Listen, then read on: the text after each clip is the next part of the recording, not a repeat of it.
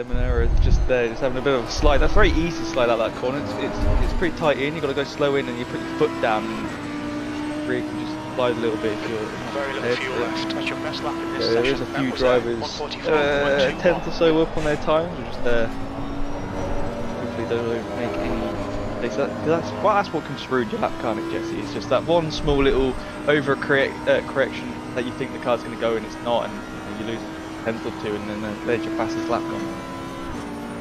Boy, you don't, you don't have to tell me. I have uh, very uh, fond like memories of this particular race course. I've got some very unfond ones that haunt my dreams sometimes as well. And we'll take you through a lap of the track at some point today to help you familiarize yourself with Watkins Glen as Merrill's does go P2. Uh, 43.702, good enough for P2. Overtakes Simonara, who struggled through the boot the last time around, but still, that is just about four tenths off of Jade Hutchinson, who has just destroyed qualifying thus far. And Edvardson goes P8 with a 44.090.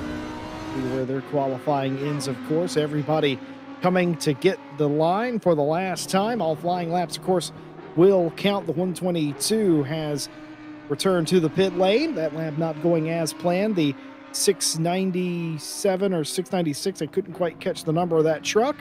Has also done the same thing. Now the 74 has done so, exiting the boot as well. A very popular spot to ruin your lap. The very section that Martin Lindrup has just come through.